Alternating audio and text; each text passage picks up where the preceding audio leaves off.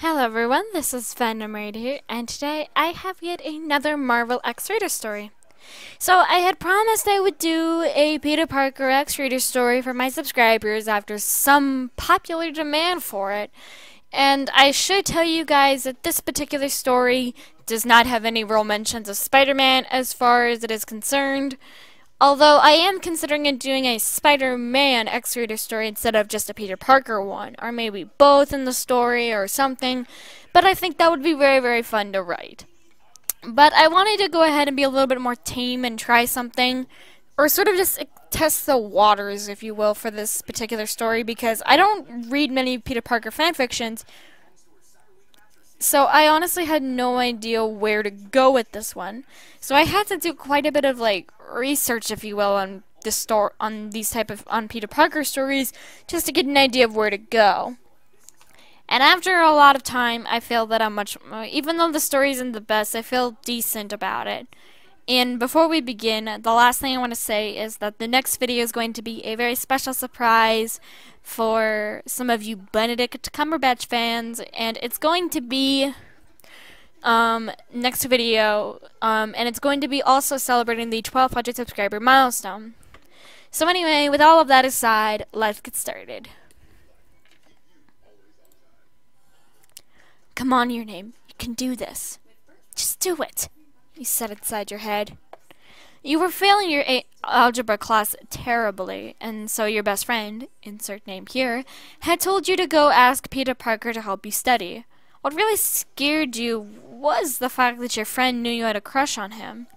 You looked at him as he was talking to Ned at their normal, normal lunch table, talking about God, and God knows what.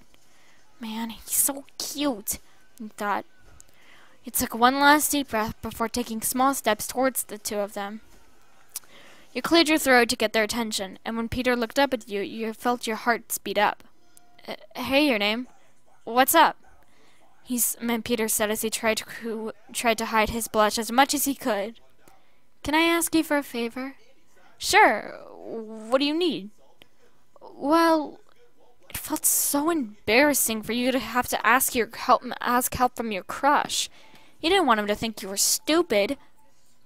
You shook off the paranoia and focused on not collapsing of a heart attack. I kinda need some help with the algebra class, and I figured you could maybe help me study. Peter's eyes went wide as him, as he weighed his options. On one end of the spectrum, he really liked the idea of studying with you. He really wanted to, mainly because he liked you a lot. You were this super cute and shy girl who was really artistic. You drew in your sketchbook all the time, and he would sometimes see you doodling in class. He knew math wasn't your strong suit, just like on how he sucked at drawing. But on the other end of the spectrum, he was worried that Mr. Stark would pull him away from her, from you in order to go on a mission or something. But it really wouldn't kill him to help you out. Besides, last thing he needed was was he, last thing he wanted was for you to fail the class. Uh, sure. When do you want to meet up? Does tonight work? You said, feeling bold. Yeah, that works. Here, let me give you my address. Peter then opened his bag and took out a notebook, ripping out a piece of paper.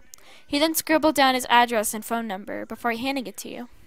He smiled and felt your face flush as your hands touched for a brief second. He then smiled. Thanks, Peter. I'll see you later. You then hurried off to your lunch table. Meanwhile, Ned was shocked and spoke to Peter in a flabbergasted tone. Did you just get a date with your name? What? No, it's not a date. I'm just helping her study is all. For the rest of the lunch period, you and Peter were getting teased by your friends for your date. And now for a time skip. You knocked on the door and a woman opened it. Hi there. Are you your name? Yes. Wow, I've heard a lot about you, and I've only just now met you. I'm May, Peter's aunt. Please come in. You stepped into the nice apartment, and Aunt May went, uh, went to Peter's room to let him know you arrived.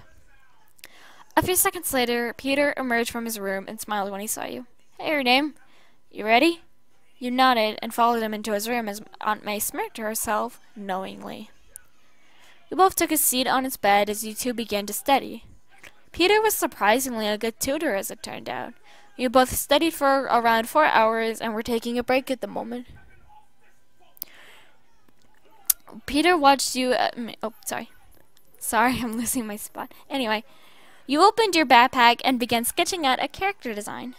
Peter watched you sketch out the basic designs and such out of from the corner of his eye. He then cleared his throat and spoke. Hey, uh, your name? Mm-hmm, he said without looking up from your sketchbook. Do you, uh, think you could teach me how to draw sometime? You stopped drawing and looked at Peter. Uh, sure. Neither of you said neither of you said anything, but you both were staring into each other's eyes. You never noticed it before, but Peter had probably the nicest chocolate brown eyes you had ever seen. He could say the same about your eye-colored eyes. Peter hesitantly placed his hand on your cheek and caressed it lightly. He sighed peacefully and leaned into his touch. Peter's you both started to close your eyes and, you, and lean in slowly. Finally, your lips touched. Peter's lips were surprisingly soft, and you can barely take it. All of the love you had felt for him all of this time was being poured out of you and being put into this moment. Peter slowly trailed his hand down your waist and rubbed it softly. Your hands tangled in, in his hair as you, and you both slowly pulled apart. He smiled and Peter held your hands. We should study like this more often, you muttered. You're not wrong. The end. So, even though I said before that I'm not exactly the most educated when it comes to Peter Parker X, X Rater fanfictions, I actually had quite a bit of fun making this. And I I don't know if you guys read my Wattpad or if you just watch the YouTube videos, but I made it a small tradition where in the Marvel book that every single time I finished X Reader, I will add a little bit of text at the very end um, of the story where me, the reader, and the character that was involved in the X Reader just talk. And it was super cute, and in that, um, you, and in the, in the, and in the text, the reader says, and I quote, You're a big old cuddly spider. And of course, I agree.